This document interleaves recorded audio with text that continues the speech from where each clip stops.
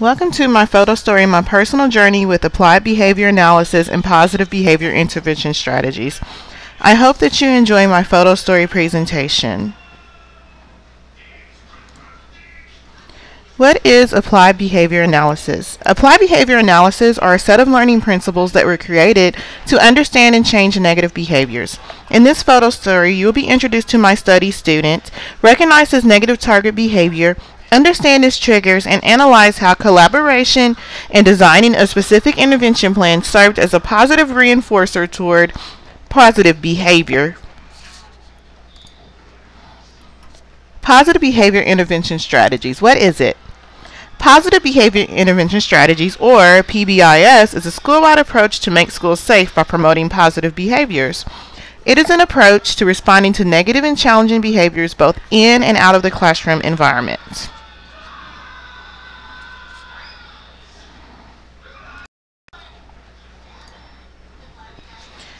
PBIS starts in the classroom.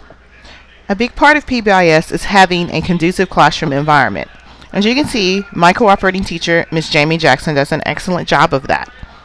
Upon walking in her room, there is a Welcome I Am Happy You Are Here poster, visual and illustrative classroom expectations poster, and also a wall of accomplishments that kids fill out, which states their daily accomplishments or minor accomplishments or major goals and achievements.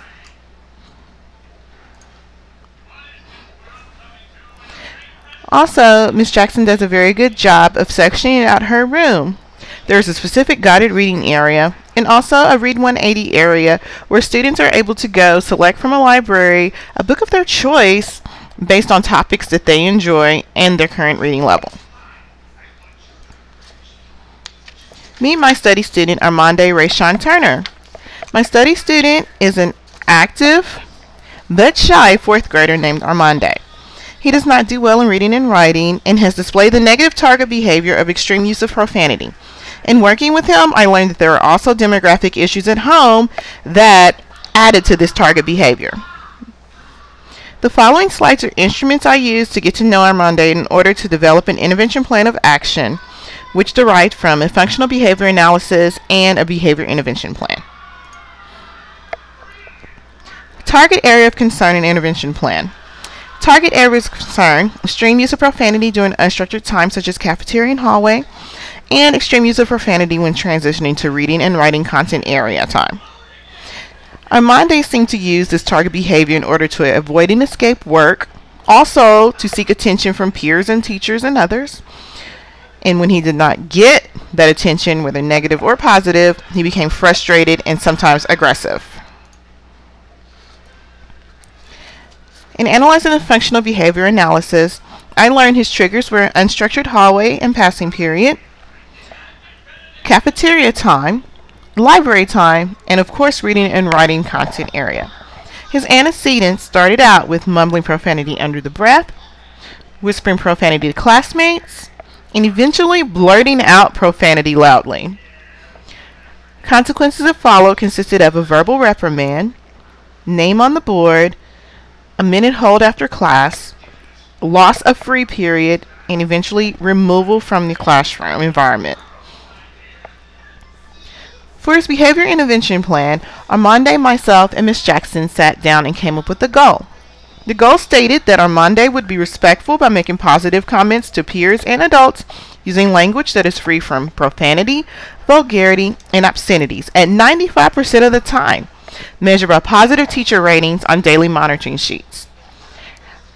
Our tier structured intervention consisted of prevention, with Armande checking in daily first thing in the morning so that Miss Jackson could reiterate daily expectations. His replacement behavior was scored by a self monitoring sheet that he was responsible for. Positive reinforcers Armande chose based on his student select survey were to hear daily positive praise and positive feedback, earning computer time, and also a weekly report home from an administrator.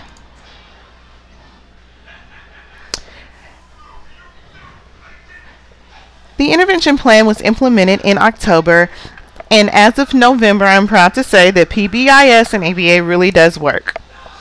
Based on his student selected interest survey, Armande chose a reinforcer of completed guiding reading on the computer daily. Here are examples of Armande completed guided reading versus that of reading aloud or reading independently from a book. Another example is a PAW or a positive action we saw postcard as signed by the administrator, Dr. Jessica Waters, who is principal at Hazelwood Middle School. Armande earned a PAW for excellent behavior during hallway and passing period for the last week.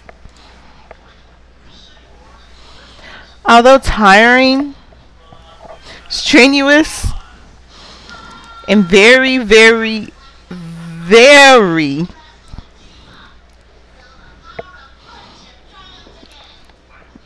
extreme, I would have to say that the collaboration, intervention planning, and resource and support of PBIS and ABA does equal successful reinforcement. I feel that I have learned a lot. My student has become a better person. And Ms. Jackson now has a more conducive environment with a better relationship with a student that she once saw as very challenging.